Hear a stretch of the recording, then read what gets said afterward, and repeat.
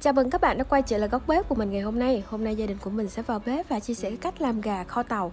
Một cái món ngon cho ngày Tết đây. Nếu mà bạn nào không thích ăn thịt kho tàu thì cũng có thể tham khảo cái món này cho Tết này. Rất là hấp dẫn và ăn cực kỳ đậm đà luôn. À, Nếu mà mọi người cảm thấy thích thì hãy bắt tay và làm chung với gia đình của mình ngày hôm nay với món thịt gà kho tàu này nhé.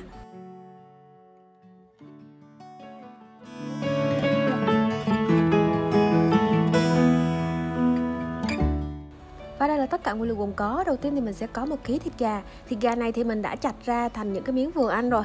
Bên cạnh đây thì mình có 6 cái trứng gà. Trứng gà thì mình đã luộc ra rồi nha. À, Ớt nè, tỏi và hành củ. Mỗi thứ thì mình cho một chút xíu nha. À, Mình cho cỡ tầm hai ba củ như thế này là được rồi nè. Rồi, đầu tiên thì chúng ta sẽ mang cái phần ớt, tỏi này ra Mình sẽ bóc vỏ và mình sẽ đâm cho nó nhuyễn ra nha. Sau khi mà mình giả nhuyễn ra rồi thì mình được cái hỗn hợp tỏi và ớt hành củ như thế này.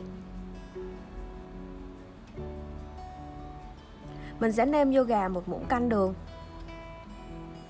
Một muỗng cà phê muối. Hai muỗng cà phê hạt nêm. Và ba muỗng canh nước mắm. Đối với tất cả các món kho thì mình sẽ ướp bằng nước mắm thì mình kho nó rất là thơm luôn á.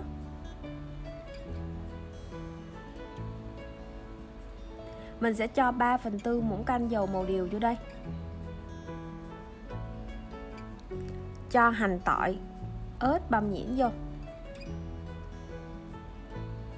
Đeo bao tay vô và mình sẽ tiến hành mình ướp cái phần gà này cho thấm gia vị. Với cái cách kho ngày hôm nay thì chúng ta không cần nước màu mình cũng có thể kho cái phần ờ, gà này lên màu cũng rất là đẹp luôn đó.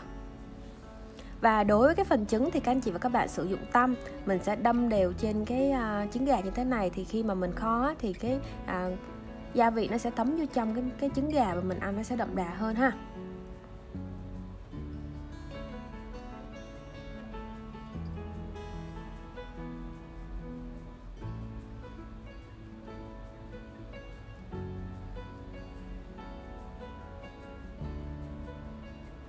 Rồi, và mình sẽ ướp ở đây cỡ tầm 30 phút tới 2 tiếng thì trong vòng 2 tiếng đó thì chúng ta sẽ mang ra nắng mình phơi thì nó cũng rất là à, đều luôn á. Và sau khi mà mình phơi nắng rồi nè mọi người thì nó đã thấm gia vị rất là nhiều. Thì chúng ta sẽ bắt lên bếp một cái chảo và mình sẽ cho hết cái hỗn hợp gà ướp với trứng này vô luôn.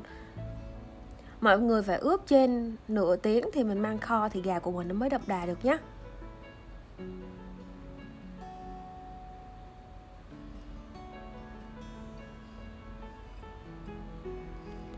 mình sẽ cho nước dừa vào cái uh, gia cái thau ướp gia vị này để mình lấy hết tất cả những cái gia vị còn sót lại trong cái thau ha. Rồi bây giờ thì mình đã xào gà cho nó xanh lại rồi.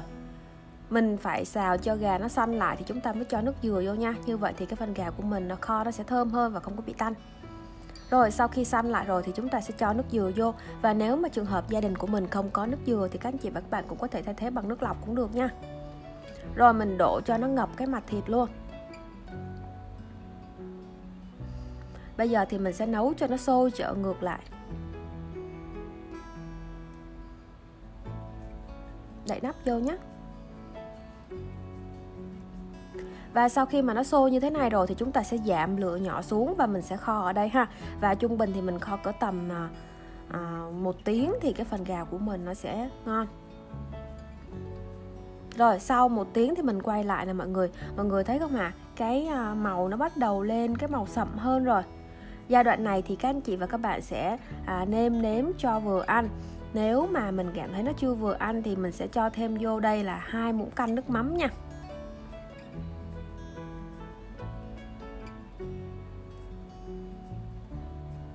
Mình cho nước mắm sâu vô như thế này thì nó sẽ thơm lắm rồi, và khi mà mình cho nước mắm vô rồi thì các anh chị và các bạn sẽ đậy nắp vô và mình sẽ kho cho đủ một tiếng nhé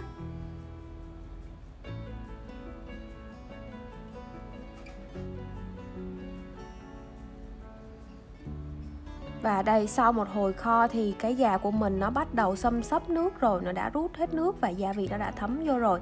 Thì mình cảm thấy rất là vừa ăn và màu sắc cũng rất là ưng ý. Thì chúng ta sẽ cho vô đây thêm một chút xíu tiêu nữa để dậy mùi hơn. Và đây là một cái chảo gà kho tàu của mình đã hoàn chỉnh. Nếu mà mọi người cảm thấy thích video ngày hôm nay thì hãy cho mình một like, một đăng ký, ủng hộ tinh thần kênh với cô vợ nhé. Có những cái góp ý nào thì hãy comment ở dưới để một bà nội trợ tại gia có thể hoàn chỉnh mình được không ạ? Rồi, kênh của vợ xin chào cả nhà. Hẹn gặp nhau vào những video tiếp theo nha.